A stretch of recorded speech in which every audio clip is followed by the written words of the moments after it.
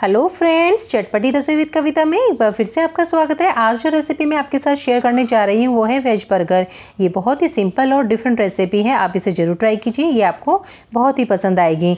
तो उससे पहले अगर आपको मेरी वीडियोस पसंद आती है तो प्लीज़ मेरी वीडियोज़ को लाइक कीजिए शेयर कीजिए और मेरे चैनल को सब्सक्राइब करना बिल्कुल ना भूलिए तो चलिए शुरू करते हैं बनाना तो वेज बर्गर बनाने के लिए मैंने यहाँ पर चार बर्गर लिए हैं। ये देखिए, मार्केट से इस तरह से कटे हुए आते हैं और आपके पास अगर सिंपल है तो आप वो भी यूज़ कर सकते हैं।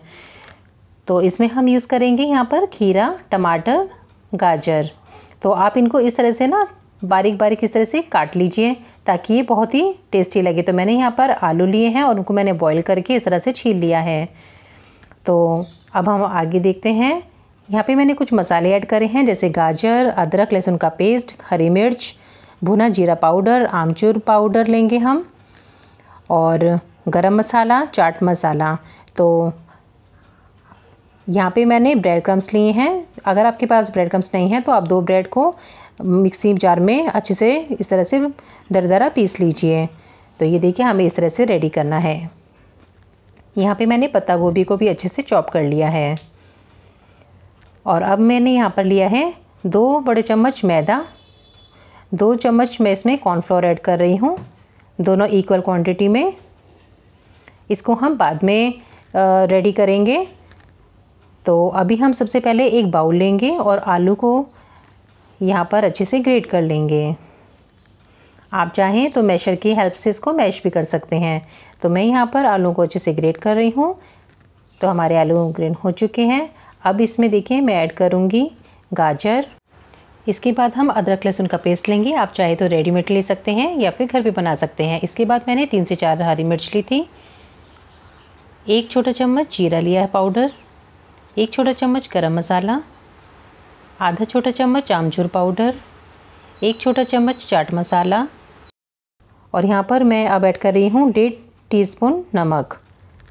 और वन टेबल स्पून मैंने यहाँ लाल मिर्च पाउडर ली है। हाफ़ टी स्पून हींग लेंगे। और अब इसमें मैं ऐड कर रही हूँ ब्रेड क्रम्स तो इसको हम थोड़ा सा इसमें डाल के मिक्स कर लेंगे ताकि जो हमारी टिक्कियाँ हैं वो क्रंची बने और अच्छी बने। तो ब्रेड क्रम्स करने से एक फ़ायदा और भी होता है, हमारी जो टिक्कियाँ हैं वो खुलती नहीं हैं ऑयल में डालने पर। तो अब हम इस मिक्सचर की टिक्कियाँ बनाएँगे। लेकिन उससे पहले हम ये ऐड करेंगे मैदा और कॉर्नफ्लोर का जो हमारा, हमने लिया था, उसमें थोड़ा सा पानी डालते हुए हम इस तरह से इसको मिक्स करेंगे। यहाँ पर आपको एक बात बड़े ध्यान से रखना है कि इसका जो कंसिस्टेंसी है, वो बिल्कुल मीडियम होनी चाहिए, ना टाइट होनी चाहिए, ना बिल्कुल लिक्विड क्योंकि हमें अपनी टिक्कियाँ जो इसमें डिप करके फिर क्रम्स में लगा के तब उसको फ्राई करना है। तो देखिए इस तरह से हमारा ये रेडी हो गया है। तो अब हम यहाँ पे टिक्कियाँ बनाएँगे थोड़ा सा हाथ पे ऑयल ग्रीस करेंगे और टिक्कियाँ बनाना शुरू करेंगे। आपको टिक्की का साइज़ बड़ा, छोटा जो भी बनाना है, आप वो बना सकते हैं। तो ये देखिए, इस तरह से हमारी जो टिक्कियाँ हैं, वो इस तरह से शेप लेती हुई रेडी होगी। तो ये देखिए, इस तरह से हमारी टिक्की बन जाएगी।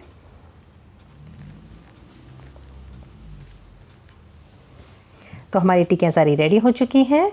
अब हम यहाँ पर मैदा और कॉर्नफ्लोर और ये ब्रेड क्रम्स को लेंगे। तो सबसे पहले हम यहाँ पर गैस ऑन करेंगे और ऑयल को गर्म करेंगे। तो जब तक हमारा ये ऑयल गर्म होगा, तब तक हम टिक्कियों को मैदे वाले इसमें डिप करेंगे अच्छे से। और फिर ब्रेड क्रम्स में रख के इस तरह से इसको भी ब्रेड क्रम से अच्छे से इसको रैप कर देंगे। तो ऑयल को हमने, हमारा गर्म हो चुका है, उसको हम फ्लेम को मीडियम करेंगे। और एक एक करके अपनी टिक्कियों को इस तरह से हम इसमें छोड़ना शुरू करेंगे। यहाँ पर हमें ध्यान रखना है कि जो हमारा ऑयल अच्छे से गर्म होने के बाद इसको मीडियम फ्लेम पर आप कर दीजिए, ताकि जो हमारी टिक्कियाँ हैं वो बाहर के साथ साथ अंदर से भी वो अच्छे से सीख जाएँ। तो मीडियम फ्लेम पे करते हुए हमें इस तरह से देखिए हमारी टिक्की का टेक्चर कितना बढ़िया आ चुका है। बहुत ही क्रिस्पी बनी है हमारी टिक्कियाँ। तो हमको इसी तरह से टिक्कियाँ फ्राई करती जानी हैं जब तक कि हमारी ये जो टिक्कियों का कलर है इस तरह से आना जाए। तो फ्रेंड्स, इसी तरह की मज़ेदार चटपटी रेसिपी देखने के लिए मेरे चैनल को अगर आपने अभी तक सब्सक्राइब नहीं करा है तो प्लीज़ मेरे चैनल को सब्सक्राइब कर लीजिए। तो देखिए, हमारी जो टिक्कियाँ हैं वो अच्छे से सीख चुकी हैं। अब हम यहाँ पर गैस ऑन करेंगे और इसमें तवा रखेंगे। तो मैं अपने बर्गर को यहाँ पे सेकने के लिए थोड़ा सा इसमें ऑयल ग्रीस कर रही हूँ। ये ऑप्शनल है, अगर आपको बर्गर ऐसे ही खाना है तो आप इसमें मत सेकिए। तो मैं यहाँ पर हल्का सा इसमें घी लगा रही हूँ और फिर इनको दोनों साइड से हल्का हल्का हम इस तरह से इनको थोड़ा सा सेक लेंगे। तो ये दोनों तरफ़ से हमारे जो बर्गर्स हैं वो इस तरह से सीख चुके हैं। ये देखिए थोड़ा थोड़ा में इतना कलर भी अच्छा आ गया है। तो अब हम इनको रेडी करेंगे। तो मैंने यहाँ पर पिज़्ज़ा टॉपिंग लगाया है। आपके पास पास्ता टॉपिंग हो या फिर शेजवान चटनी हो या फिर टमाटो सॉस हो, कुछ भी हो, आप लगा सकते हैं इसके बाद। फिर हम यहाँ पर थोड़ा सा ये पत्ता गोभी इसमें डाल देंगे।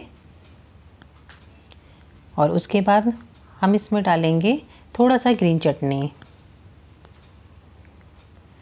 तो इसके बाद हम इसके ऊपर भी थोड़ा थोड़ा इसे पत्ता गोभी इस तरह से डाल देंगे। इसके बाद मैं यहाँ पर खीरे लगा रही हूँ। तो खीरे लगाने से इसका टेस्ट बहुत अच्छा आता है। तो आप इसमें खीरे लगा लीजिए, टमाटर लगा लीजिए। और इसके ऊपर जो हमने गाजर काटी थी, गाजर रख लीजिए।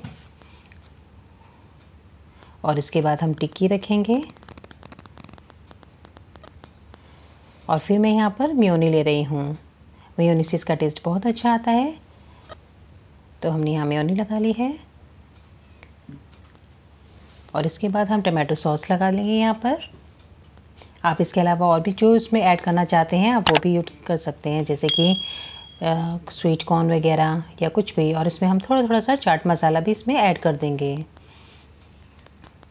तो देखिए, हमारे बर्गर बिल्कुल रेडी हो चुके हैं। अब हम इसको टूथपिक लगाकर इसको रेडी कर देंगे। तो हमारे जो बर्गर है बिल्कुल रेडी हो चुके हैं। तो फ्रेंड्स अगर आपको मेरी रेसिपी पसंद आई है तो प्लीज़ मेरी वीडियो को लाइक कीजिए शेयर कीजिए और मेरे चैनल को सब्सक्राइब कीजिए। मिलते हैं एक नई रेसिपी के साथ। Thanks for watching bye